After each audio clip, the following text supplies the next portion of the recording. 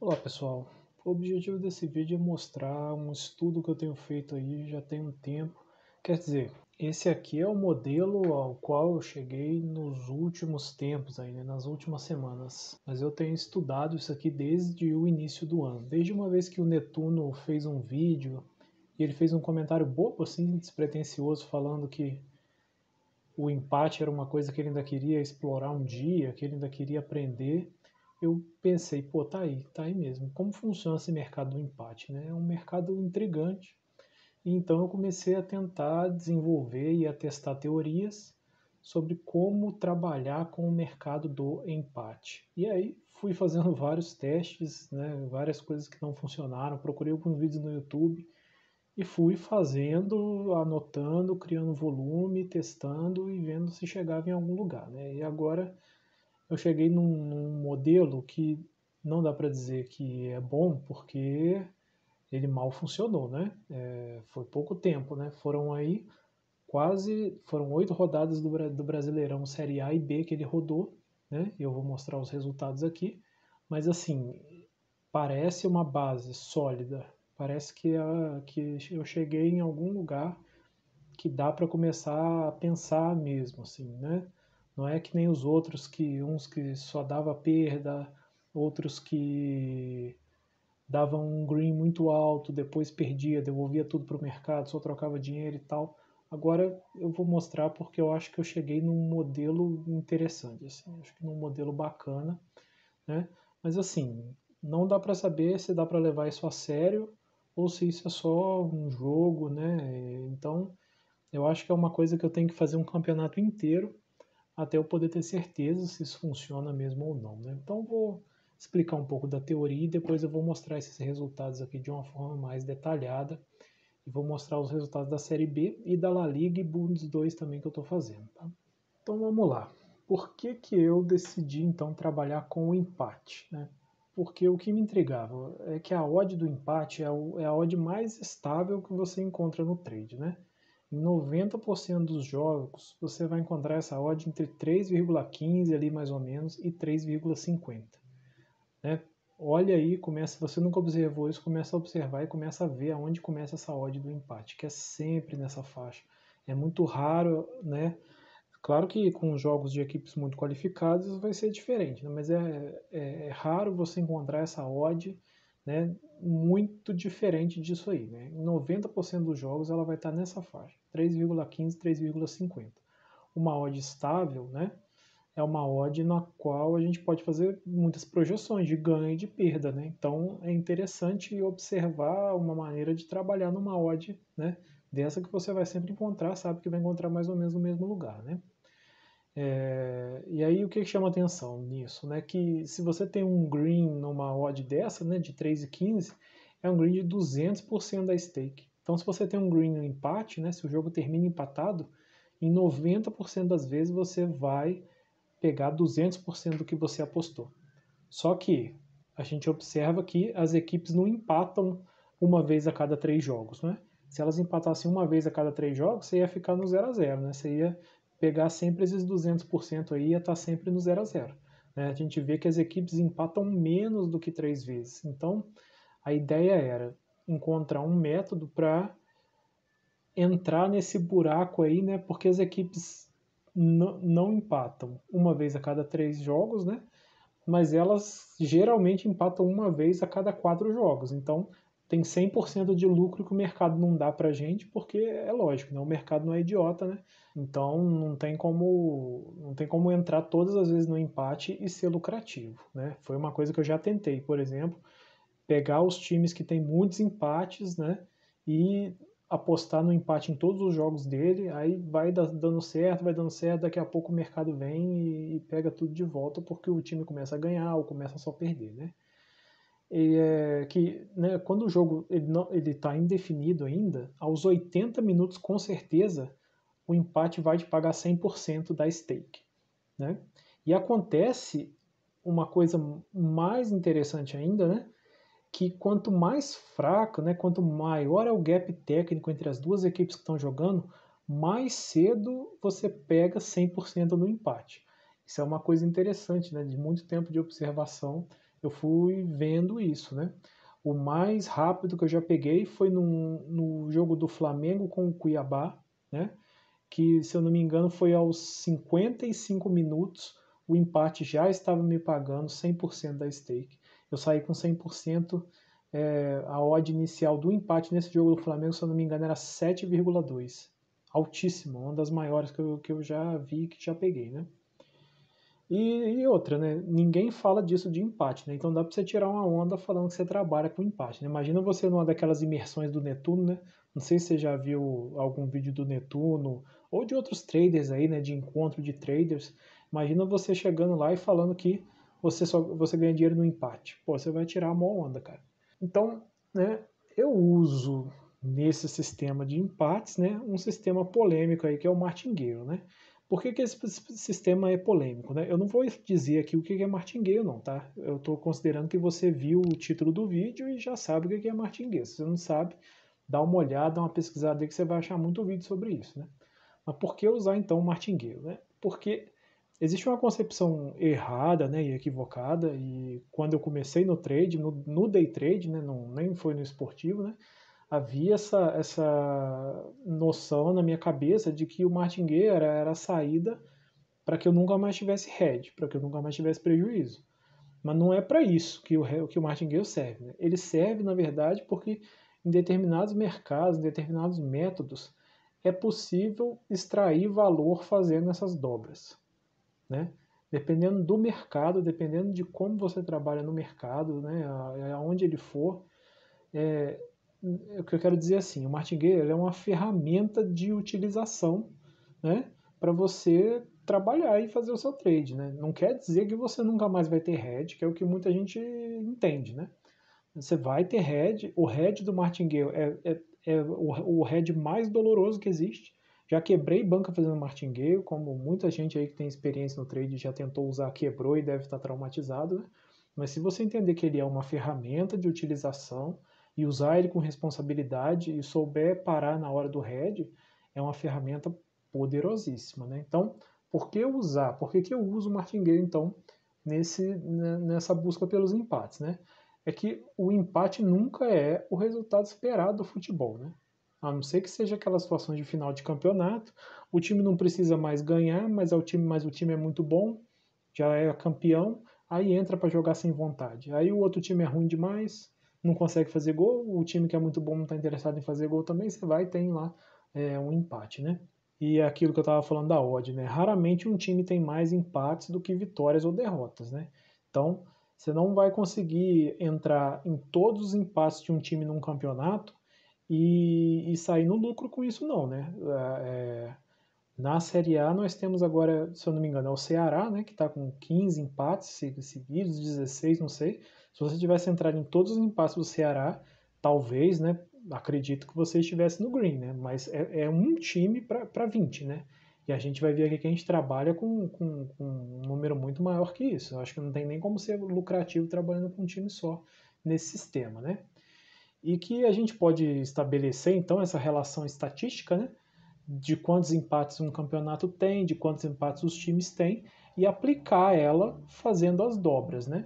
Só que é muito importante, né, a gente conseguir parar, né, entender que chegou um momento que a gente tem que parar e, e, e aceitar o prejuízo e esperar que o, os greens que a gente está tendo em outros, nos outros jogos vão pagar, né, ao longo prazo é, esse prejuízo que a gente está tendo, né, porque é muito difícil você chegar, como eu faço na terceira dobra, né, perder e e, e, ter que começar da, da, primeira de novo. Isso é muito doloroso, né? E eu faço três dobras só, né? Tem gente que trabalha com sete. Imagina sete, você chegar na sétima vez e ter que aceitar o head. Então eu trabalho com três, que é que tem a ver com a frequência dos empates, que é de mais ou menos 25%, né?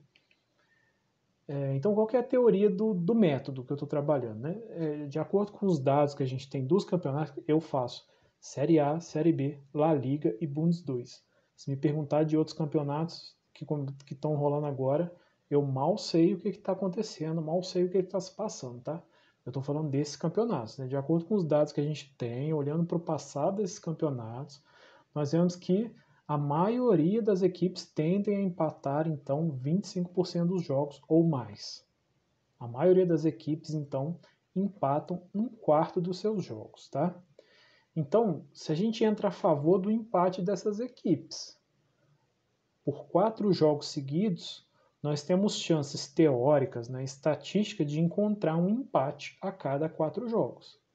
Então, se a gente usa o sistema do martingale, nós conseguimos eliminar o EV-, né, de realizar essas entradas sistemáticas, como eu falei lá no, quando eu estava falando das odds. Se a gente entrar em todos, não tem como a gente ser lucrativo, né, porque é, a gente só seria lucrativo se, se o time empatasse uma vez a cada três jogos, mas não é isso que acontece. Então a gente elimina esse EV- utilizando o sistema de martingale, então, para dobrar né, em busca desse um empate que vai acontecer a cada quatro jogos, né? E aí o que acontece? Como ocorre de algumas vezes, né? Nós pegarmos mais de 200% das, da stake, nós temos uma margem forte de lucro, que é teórico, né? Eu acho que o brasileiro Série A é o que funciona melhor, né, do que eu estou vendo até agora. Assim, mas é claro, de outras experiências também eu já tinha notado isso, como funciona bem o brasileiro Série A, né? que o brasileiro Série A tem muitos desempates em final de jogo e muitos empates em final de jogo. O brasileiro funciona, a Série A funciona muito bem para isso, tá? Então, como funciona o método, né? Nós escolhemos as equipes que têm 25% de empates ou mais no campeonato, né? Nós entramos em pré-live em todos os jogos dessa equipe, né? Então, se dois empatões, né? Se duas dessas equipes que nós selecionamos vão jogar juntos, nós vamos usar uma stake para cada um, né? Se a stake de cada um é 10, a gente vai entrar em pré-live no empate com a stake de 20, né? Uma para cada um. Nós encerramos a operação assim que nós conquistamos 100% de lucro. Esse é um erro que eu cometi, né? Eu já tinha entendido há muito tempo atrás que não dava para buscar 200%, que eu tinha que buscar 100%, mas quando eu comecei esse projeto aqui, eu comecei errado, né? Você vai ver ali na tabela que está errado. E eu comecei a, a, a buscar 200% de lucro e comecei a ter muito prejuízo, né? Porque eu já tinha entendido que 200% de lucro não, não dava para pegar. Por quê? 200% de lucro, para a gente sair com 200% de lucro, na maioria dos jogos tem que deixar até o final do empate, né? E quando a gente pega uma odd um pouco maior, de 3,50, 3,80, é, o empate só paga 200% na, nos acréscimos. Então, né, os 100% de lucro ele sai no máximo aos 80 minutos de jogo. Só que em 90% dos jogos eu pego, né, se tiver empatado, eu pego ali por volta 2,75 minutos, tá? E caso nós tenhamos um head, né, então, vamos supor, a gente entrou a favor de duas equipes, né? Não foi, não foi um empate, né? Ou não deu para sair, não deu para a gente sair com 100% gente vai fazer no próximo jogo dessas equipes, que elas vão jogar com outras equipes, né? A gente vai entrar né, em cada jogo né, que elas forem jogar lá. Se ela está jogando, a gente vai usar então a razão de 20 para entrar a favor dela no empate. Né? Então, eu dobro no máximo três vezes. Né? A primeira eu entro com 10. Se tiver head, eu dobro uma para 20, dobro outra para 40, dobro outra para 80. Chegou em 80, perdi, tive prejuízo, tem que aceitar e acabou. Se você dobrar mais uma vez para 160 e você tiver um head, eu, eu acho que do ponto de vista assim do, do, do da lógica do, do, de quanto dá para você ganhar aqui, eu acho que não é, não é possível não é possível fazer. Assim, é, eu posso estar errado, né? Eu já pensei também sobre essa questão do buscar 100% ou do buscar 200%. Se talvez buscando só 100%, não está se tornando EV mais. Mas isso tudo é coisa que a gente tem que é coisa que a gente tem que colocar o dinheiro no mercado, observar, anotar e, e planilhar. Né? É assim que a gente consegue saber qual é melhor e qual é pior. Eu estou trabalhando com essa ideia agora e vou levar aí até o fim. Né? Não falta muito para acabar. Né? E se nós temos um green, a gente repete a entrada no próximo jogo. Então, entrei com 10 agora.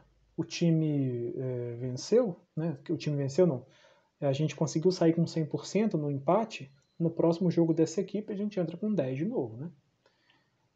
Então, mostrar aí um exemplo, né, que é o Brasileirão Série A. Essa, essa aí, esse aí no início da rodada 29, né, estão jogando agora aí Bragantino e Sport Recife.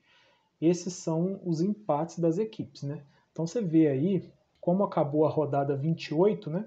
Os, as equipes que empataram 25% ou mais precisam ter sete empates, né?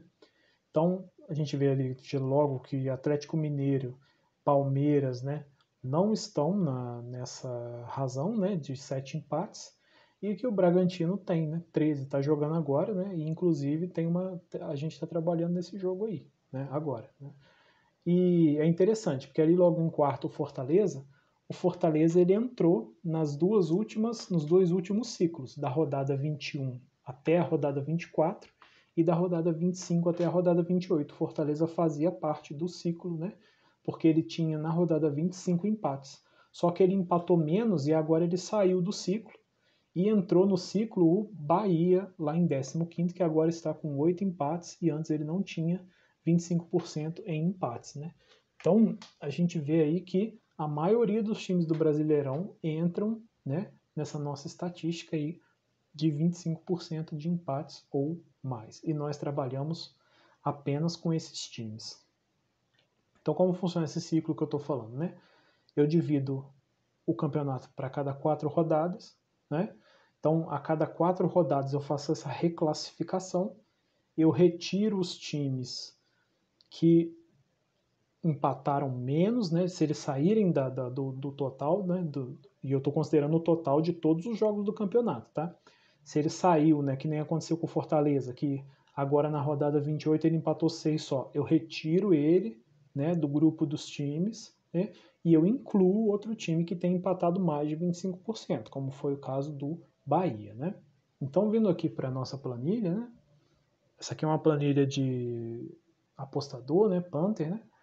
É, aqui tem a, a, primeira, a primeira construção né, que foi feita lá no, no, início da rodada 21 com todos os times que estavam então nesse sistema, nessa quantidade de empates aí. Né? E aí o que aconteceu? A, começa com o erro que eu falei. Né? Pode ver aqui que eu estava procurando 200% em todos os jogos. Só que aí o que aconteceu? Nessa rodada do Brasileirão em específico aconteceram vários empates mesmo até o final do jogo e eu consegui sair com 200% em vários jogos. Então essa foi a, primeira concepção errada que eu tive, né? Mas daqui a pouco eu vou deletar é, essas informações e você vai ver o saldo que vai ficar ali mesmo ignorando essas duas rodadas que eu fiz isso. Então o primeiro problema, o primeiro erro teórico era esse, que eu estava buscando 200%, eu já sabia que isso não dava certo e estava buscando, né? E o, que eu estava fazendo também era que eu só estava colocando quando era empatão contra empatão. Então o Bragantino jogou contra algum time aqui que não era empatão e eu não coloquei ele. Só que isso é um erro lógico, né? Porque se eu estou usando como estatística para selecionar o time é, todos os jogos do time no campeonato, então eu tenho que fazer a entrada em todos os jogos que esse time jogar acabou que isso foi um dos maiores acertos que eu tive para fazer esse método aqui, né? Porque se eu tivesse seguido com essa ideia, não tivesse percebido esse erro lógico que eu estava assumindo, de tirar, né, de tirar os jogos que o time ia jogar contra um time muito maior, eu não teria pegado empates é, improváveis, né, que foram empates que, que, que, por exemplo, do Sport Recife contra o Palmeiras, né, na, nessa semana, é, do Cuiabá, o próprio do Flamengo contra o Cuiabá, eu não teria nem entrado nesses jogos, né? Então, eu consegui perceber a tempo esse tipo de coisa acontecendo e consegui então corrigir, consegui consertar, né? Aí tem 540 de saldo aqui de, de saldo positivo de unidades, né? Pode ver aqui, né? Eu, eu comecei com 10 unidades para cada equipe, né? E depois fui, utilizando o sistema que eu coloquei lá, né? E a gente tem aqui, né, no fim da rodada 28, só falta o Atlético Goianiense para fazer a rodada 28 dele. Temos 52% de win rate, que é muito grande, muito grande mesmo, né? e 540 unidades de lucro, com uma odd média de 3,38. A gente já ciclou no mercado 2.030 unidades, né? E a unidade média utilizada por jogo é de 18,13, né? Então, eu quero, onde que eu parei? Vai aparecer aqui. Aqui, ó. Aqui eu já não estou mais usando, né? Aqui eu já estou pegando 100%.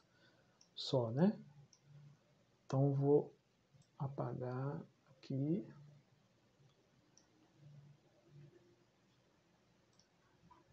E o lucro, agora esse é o lucro real, se eu posso dizer assim, né? É 411 é, unidades de lucro, né? Então,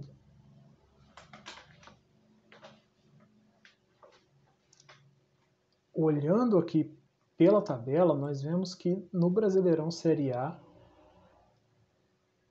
acontece muito empate mesmo, né? É, a quantidade, quando eu mostrar daqui a pouco ali a planilha da Série B, é, vai ser uma, uma, a diferença assim é surreal, né? E aí você vai vendo que vai tudo dando certo no início, né? Vai, vai acontecendo, vai acontecendo. Aqui o Fortaleza chega já a 40 unidades, né? Que ele não empatou, não conseguiu. E olha aqui, né? Aqui no início da rodada 25, o Fortaleza me tem aí mais um, um mais uma situação que não deu para sair com os meus 100% e eu perdi ali 80%. O que eu quero mostrar com isso? Que não é nenhum fim do mundo, né? Por quê?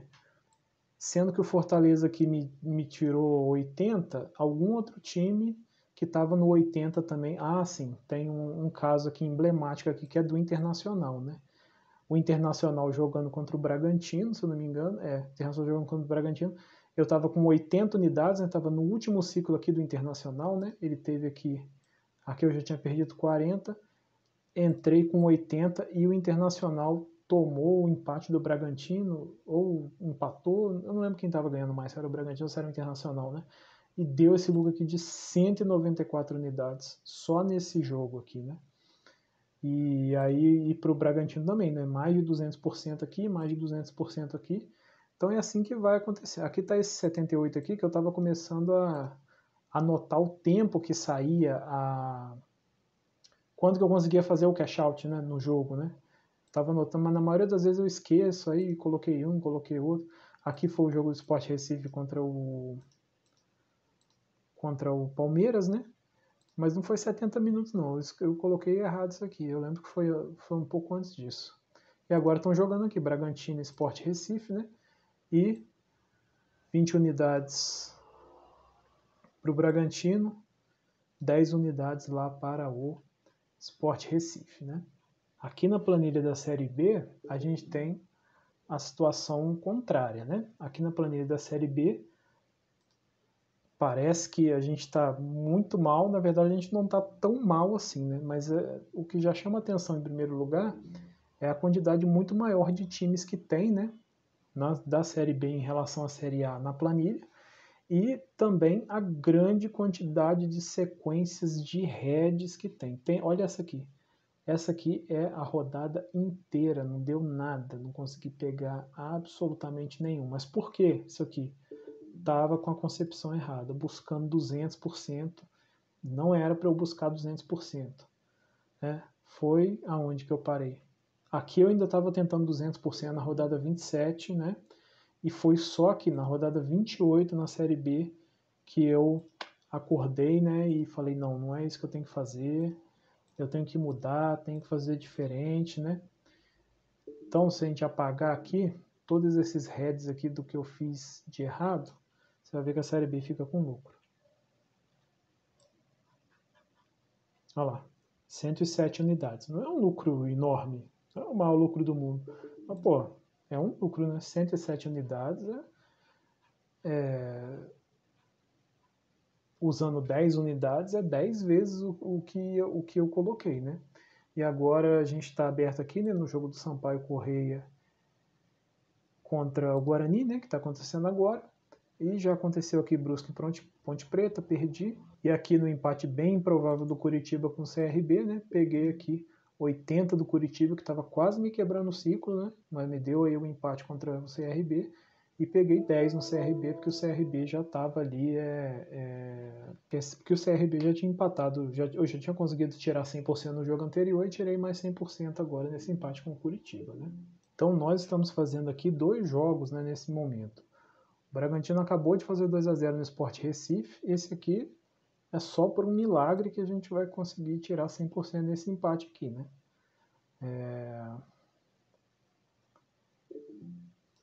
A nossa odd de entrada foi 4,4, uma odd muito boa, uma odd excelente, né? E olha só onde sairia os nossos os nossos 100%. Nosso 100% sairia aqui, ó, na odd 2,12, 2,14, tá? Então, isso aqui ia chegar aí por volta dos 60, 60, 65 minutos, se o jogo tivesse empatado, né? Se o Sport Recife tivesse de alguma maneira conseguindo mesmo segurar o, Bragantino, né? A gente ia conseguir fazer a nossa saída aqui nessa odd. A odd 2,14 é uma odd muito alta, né? Então, é, essa aqui é uma entrada daquelas improváveis que acabam acontecendo, né? Mas se o Cuiabá segurou o Flamengo, o que, que é o Sport Recife segurar o Bragantino, né? A gente não pode achar que é porque um time está tão melhor assim que o outro que vai dar tudo certo, né? E é essa a concepção que eu estou trabalhando, né? Eu estou tentando pegar exatamente... E aqui a gente está tendo, até agora, né? Até o momento a gente está tendo um, um green aí, né? Que é Sampaio Correia contra o Guarani. E né, o jogo está agora aí... Deve, aqui é um pouco atrasado, né? Está em uns 48, 49 minutos. E a gente entrou aqui com 20 centavos, né? Que cada. Estou fazendo teste, eu estou fazendo teste com 10 centavos, né? Que eu não vou jogar dinheiro fora no mercado, né? Então, a gente entrou aqui com 20 centavos, né? Lucro potencial máximo é de 41 centavos, porque a gente entrou na odd 3,20, né? E agora, né? Agora que são aí 49 minutos, nós estamos com 7 unidades de lucro, né? Para a gente pegar então 20 unidades de lucro, será na odd 1,57. Nesse jogo aqui, Sampaio Corrêa contra o Guarani, né, provavelmente vai chegar nessa odd 1,50 aqui a partir dos 78 minutos, mais ou menos, tá? É mais ou menos isso aí que vai, que vai acontecer. Esses aqui são os resultados da La Liga, tá? Você vê aqui que eu comecei na na quinta rodada, né? Aqui é, o, é a rodada do, do, campeonato.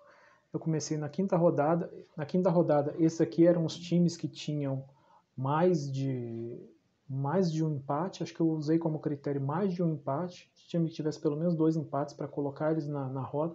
Estava fazendo errado, né? Tá vendo aqui, né? Buscando 200%. Não estava colocando o time da maneira que, que eu deveria ter colocado, né? Tava pulando os jogos, por exemplo, se o time jogava contra o Real Madrid, Levante Real Madrid, né? Se eu tivesse é, colocado no, no, naquele jogo, um jogo mais improvável, eu ia pegar um empate de 200%, né? Que foi um empate 3 a 3 no, no final do jogo lá, né? Que aconteceu. Então eu comecei a perceber que não era assim, né? Que eu tinha que colocar todos os times, que, que eu, aí eu fui melhorando essas minhas concepções. Aí aqui a partir da rodada 8, então, né? Aí eu comecei a trabalhar certinho, fui pegando, né? É, e, o, e, aconteceu né, o empate do Vila Real, né, que foi aquele empate surreal ali, incrível de 3 a 3 né? E a odd que eu peguei, né, que era Cádiz contra o Vila Real, foi a odd de 5,6, né? Aí era 40 unidades que eu estava entrando no Cádiz e 20 unidades que eu estava entrando no Vila Real, né? E aí foi lá, né? 83 unidades de lucro no Vila Real e 166 unidades de lucro no Cádiz. Pensa bem, hein? E aí, né, lucro total até agora aí de 541. Então vamos excluir aqui, né, para mostrar certinho. 496 de lucro até agora, né? Isso roda bastante, né? E por último aqui a planilha da Bundes 2, né? Qual o lucro está bem mais difícil de aparecer, né? Mas pela, pelo estudo prévio que eu fiz, eu vi que a Bundes 2 começa a empatar bastante, a da metade para lá, né? Uns três anos foi assim que aconteceu, né? Então vou tirar de novo a parte aqui que está errado, né? E a gente tem lá 159, então 159 unidades de, de lucro, né? E aí, né, entraram poucos times né, da, da Bundes 2. Né? A lista está aumentando conforme vai passando. Né? Então, né, a rodada 8 aqui, né, é a primeira, é a rodada que encerrou, né, eu, eu refiz a, a lista, aí entraram lá o Regensburg, o Fortuna, né, aí vai aqui até a rodada 12 agora, na qual eu vou qual vou estudar de novo quais foram os times, quais os times devem entrar, quais times devem sair, né? Destaque aqui para o Bremen, né, que estava quase me dando também aí um head total, né, que ia prejudicar muito ali, né, ia acabar com todo o lucro, mas eu não me lembro contra quem estava jogando, mas aí empatou, né? E tem um também aqui de um jogo do Hamburgo, qual que é? Que o Hamburgo arrumou um empate também que pagou muito alto. Era Hamburgo e Aui, né? Hamburgo e Aui, ó, na odd 4,5, era 20 unidades para o Aui, 10 unidades para o Hamburgo, né? mais de 200% de lucro também. Então é isso, pessoal. É só um estudo, né? é uma coisa que eu estou fazendo, não sei onde vai chegar, não sei se isso vai dar lucro, não sei se é só loucura, né?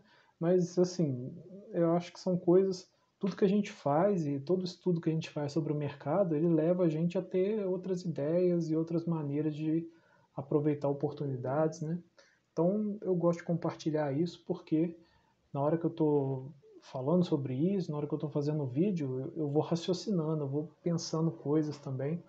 Explicar isso para alguém me faz explicar para mim mesmo, né? pensar comigo mesmo, e é um exercício interessante. Né? Então, é isso aí. Quem tiver dúvidas, né, é, pode aí deixar que eu tento responder. E principalmente, né, quem tiver algum comentário, alguma crítica construtiva aí para fazer, eu vou aceitar muito bem, porque eu quero ganhar dinheiro, né? Não quero estar tá certo, não quero. Quando, né, aquilo lá que eu coloquei dos. De você poder tirar onda com empate é só brincadeira, tá? Todo mundo vai achar que você é louco se você falar que tá ganhando dinheiro com empate. Então é isso aí, né? Muito obrigado e até a próxima.